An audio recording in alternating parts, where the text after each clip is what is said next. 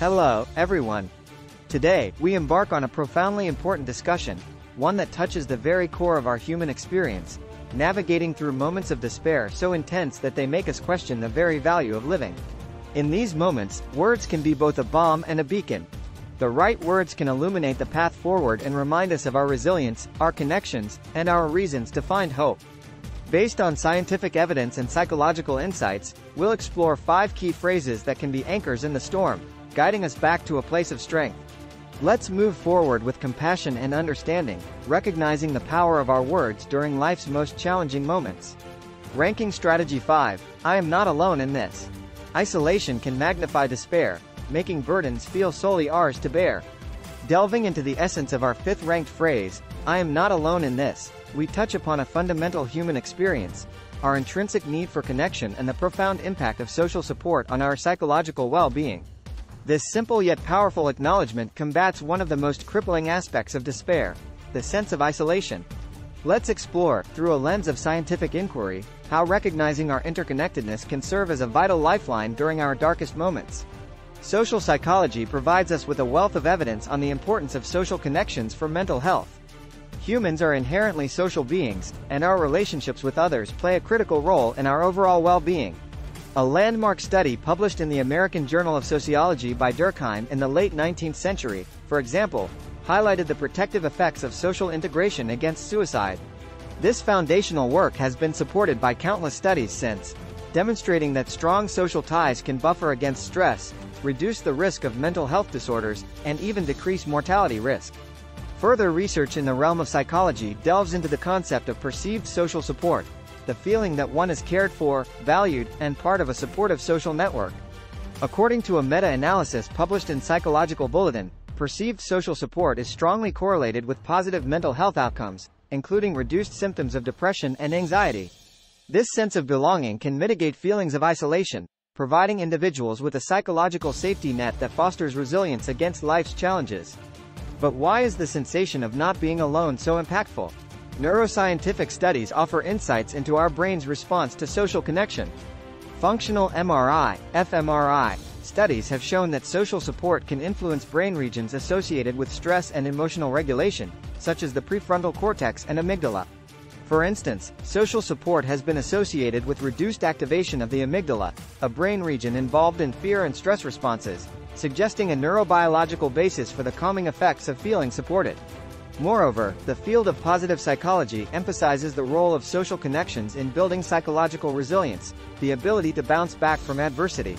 Resilience is not a trait we are born with but a skill developed through life experiences and interactions. Social support can enhance resilience by providing emotional resources, such as empathy and encouragement, practical assistance, and by modeling coping strategies. This reinforcement of our coping mechanisms can empower us to navigate through periods of despair with a stronger sense of hope and agency. The importance of articulating the feeling I am not alone in this cannot be overstated, especially in moments of acute distress. Vocalizing or even silently acknowledging this sentiment can be a crucial step in seeking out the support we need. It serves as a reminder to ourselves that help is available, whether through friends, family, support groups, or professional counselors. This act of reaching out, in itself, can be therapeutic, breaking the cycle of isolation and initiating the journey towards healing. In practical terms, fostering a sense of connection can be approached in various ways. Engaging in community activities that resonate with our interests can create opportunities for meaningful connections.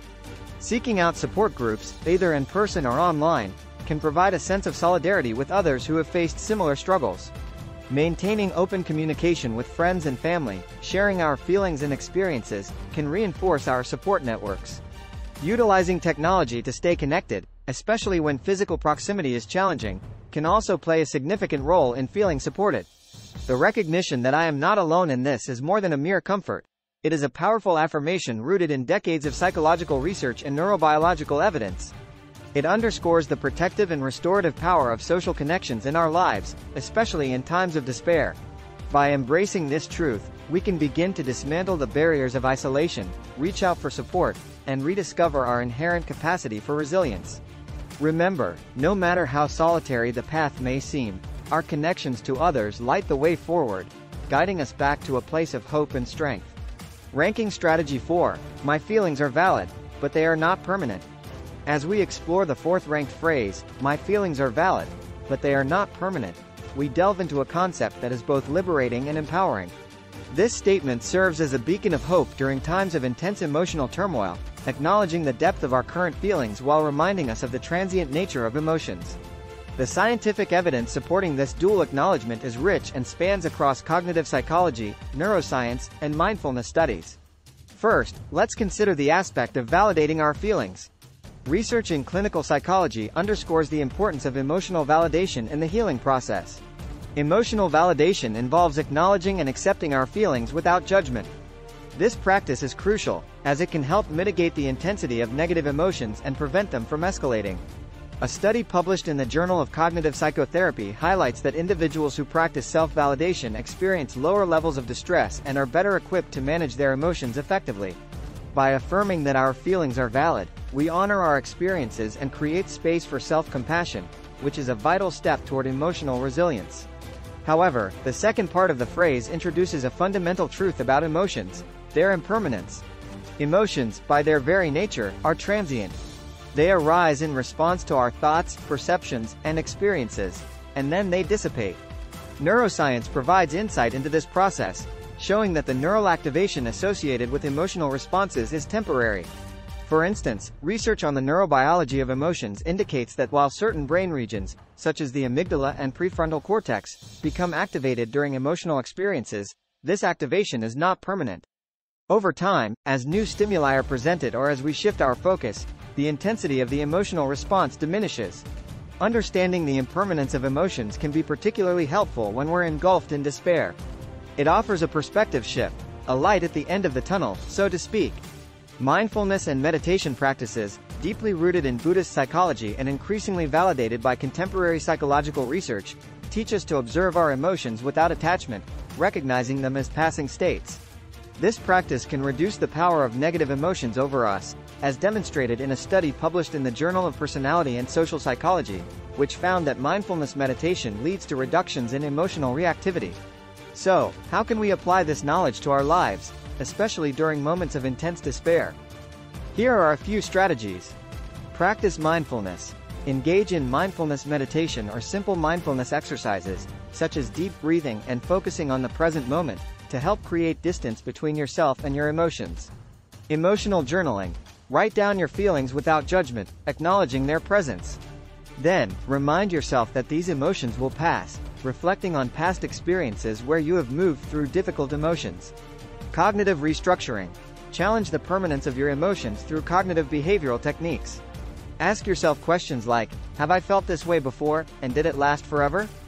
This can help reframe your perspective on the current emotional experience. Seek support. Talking to a trusted friend, family member, or therapist about your feelings can provide both validation and perspective, reminding you that emotions are not fixed states. In embracing the mantra, my feelings are valid, but they are not permanent, we equip ourselves with a powerful tool for navigating the storms of emotional distress.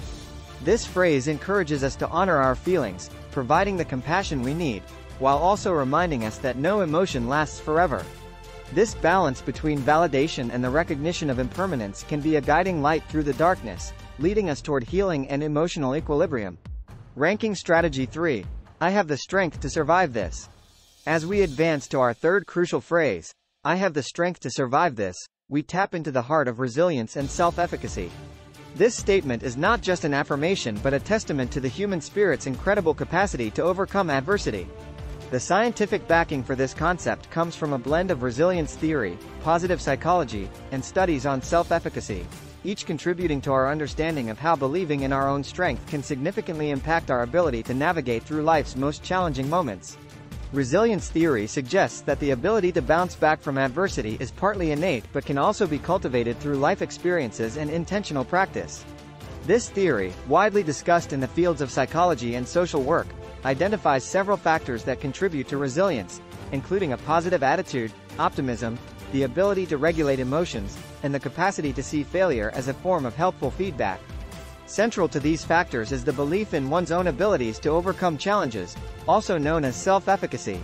Albert Bandura, a renowned psychologist, highlighted self-efficacy as the belief in one's ability to influence events that affect one's life and control over the way these events are experienced. According to Bandura's research, individuals with high self-efficacy are more likely to take on challenges, persist in the face of adversity, and recover more quickly from setbacks, essentially embodying the sentiment, I have the strength to survive this. Positive psychology further reinforces this concept by focusing on strengths and virtues that enable individuals and communities to thrive. It suggests that focusing on our strengths, rather than solely on correcting weaknesses, can enhance our resilience. Studies within this domain have shown that interventions aimed at identifying and using personal strengths can lead to increases in well-being and decreases in depression symptoms. This approach empowers individuals to draw upon their inner resources, affirming their capability to navigate through tough times. Moreover, the narrative therapy perspective offers an interesting lens on the power of the stories we tell ourselves about our own lives. By framing our experiences as part of a larger narrative where challenges are met with strength and resilience, we can shift our identity towards that of a survivor rather than a victim. This reframing can significantly alter our emotional and behavioral responses to adversity.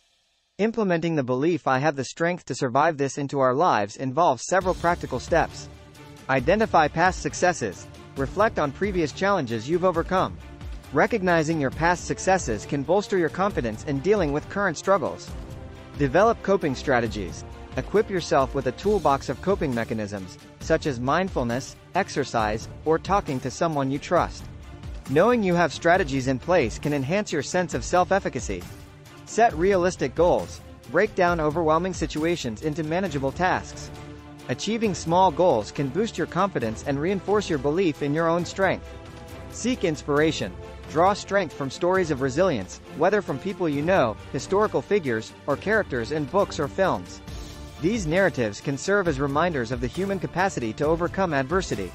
Practice self-compassion. Be kind to yourself. Recognize that struggling does not imply weakness and that acknowledging the need for help is a sign of strength. By embracing the phrase I have the strength to survive this, we not only affirm our resilience but also activate it. This belief in our own strength is both a shield and a beacon, protecting us from the depths of despair and guiding us toward recovery. It's a reminder that, though the road may be tough, we are equipped with an inner fortitude that can carry us through. Ranking Strategy 2, help is available, and it's okay to accept it. Moving on to the second pivotal phrase, help is available, and it's okay to accept it. We underscore the significance of seeking support and dismantling the stigma often associated with asking for help. The science behind this notion is grounded in studies across various disciplines, including psychology, social work, and mental health advocacy, which collectively highlight the therapeutic value of support and the critical role of social networks in our overall well-being. The act of seeking help is deeply rooted in the understanding that humans are inherently social beings, and our connections to others play a vital role in our psychological resilience and recovery processes. Research in social psychology has consistently shown that social support, not just the availability of support, but also the perception that support is available, can have a profound impact on mental health. This support can buffer against the effects of stress, reduce the risk of depression and anxiety, and enhance feelings of self-efficacy. Moreover, the process of seeking and accepting help challenges the often culturally ingrained notion that self-reliance is synonymous with strength. This misconception can lead individuals to resist seeking help for fear of being perceived as weak or burdensome. However, evidence from mental health research strongly contradicts this view, demonstrating that recognizing the need for help and taking steps to obtain it are signs of self-awareness and strength. Engaging with mental health professionals, whether through therapy, counseling, or psychiatric care, has been shown to significantly improve outcomes for individuals experiencing emotional distress, depression, or suicidal thoughts. Acceptance and Commitment Therapy, ACT, a form of cognitive behavioral therapy, offers valuable insights into the importance of accepting help. ACT emphasizes the concept of psychological flexibility, the ability to contact the present moment fully as a conscious human being, and to change or persist in behavior that serves one's valued ends. Part of this flexibility involves opening oneself up to receiving support, recognizing that doing so can be a step toward living a more value-driven life. Implementing the understanding that help is available, and it's okay to accept it into our lives involves several actionable steps. Acknowledging the need for help. The first step is to recognize and admit to oneself that assistance is needed, which can be a profoundly empowering act. Researching available resources, Identifying resources, whether they are mental health professionals, support groups, or trusted individuals in one's social network, can make the process of seeking help feel more manageable. Overcoming barriers to help seeking. This may involve challenging personal beliefs about self-reliance or fears of judgment, and recognizing that seeking help is a sign of taking control, not a sign of weakness. Reaching out. Making the first move to contact a professional or confide in someone can be daunting, but it's an essential step towards recovery. Practicing self-compassion. Throughout the process, it's important to treat oneself with kindness and understanding, recognizing that seeking help is an act of self-care. Help is available, and it's okay to accept it as more than just a phrase. It's a crucial acknowledgement in the journey toward healing and resilience. It invites us to lean on the strength of others as we navigate our way through difficulties, reminding us that vulnerability is not a weakness but a courageous step towards recovery. By embracing the availability of support, we open ourselves up to a world of resources and connections that can significantly aid in our healing process. Ranking Strategy 1. There is hope, even if I can't see it right now. Arriving at our most potent affirmation, there is hope, even if I can't see it right now, we touch upon the cornerstone of psychological resilience and recovery, hope. This phrase encapsulates a fundamental principle across therapeutic practices and psychological research, emphasizing the transformative power of hope in overcoming despair, depression, and suicidal thoughts. Hope is not just wishful thinking. It's a dynamic cognitive motivational system, as described by C.R. Snyder and his colleagues in their hope theory. According to this theory, hope involves having goals, goal-directed determination, devising strategies to achieve those goals, pathways thinking, and the motivation to use those strategies, agency thinking. Scientific research has consistently highlighted the role of hope in mental health and well-being.